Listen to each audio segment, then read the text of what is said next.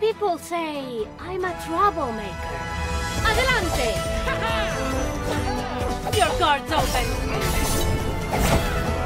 Y... Pero bueno, ¿qué? Los analizadores preferidos. Engarde.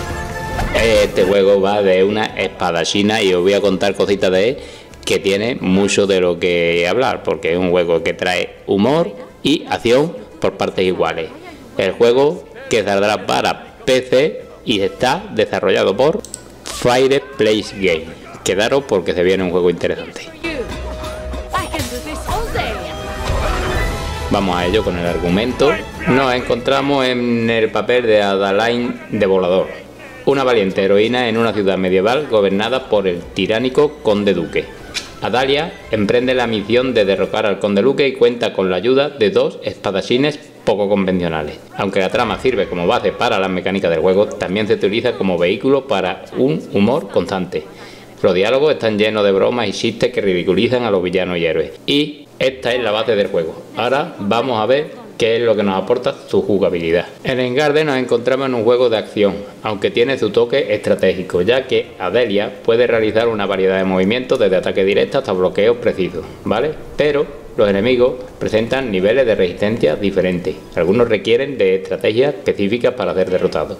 El escenario entonces se convierte en una herramienta, tanto de ataque como de defensa, con elementos como cajas, armería, objetos que pueden usarse a favor del jugador. También incluye elementos de evasión y exploración de los escenarios, lo que agrega profundidad a la jugabilidad. No es simplemente un pega que te pillo, corre que me mata. No, tiene mucho, mucho y utilizar en los escenarios. Eso en cuanto al sistema de combate. El juego cuenta también con cuatro capítulos principales en su historia. Cada uno de ellos tiene sus misiones principales y también objetos, objetivos secundarios.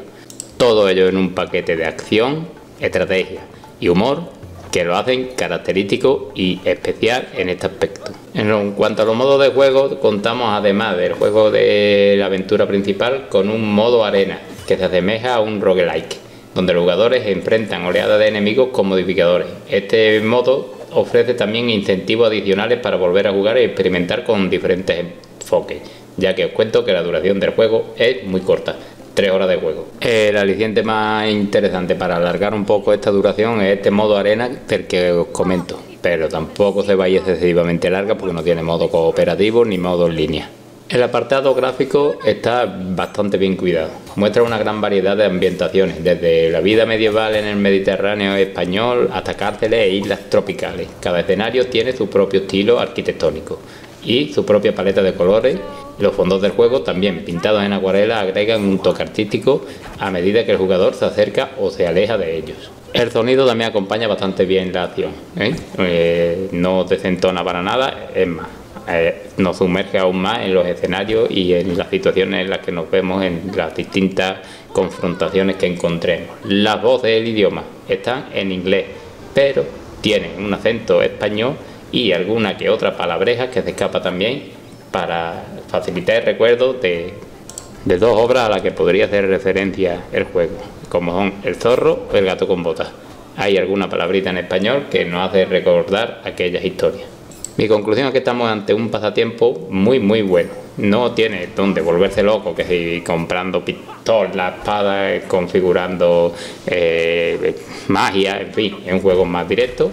Tiene su toque de humor, tiene sus toques de combate, interacción con el escenario, gráficos detallados y toque de humor por arrobarle, tanto en sus comentarios como en su forma de, de ver la jugabilidad. Para mí un juego recomendable, sinceramente está divertido, yo sé que lo recomiendo casi todo, me gustan todos los juegos, pero este es un juego, si lo que busca es pasar el rato demasiado calentarte la cabeza, es un juego perfecto.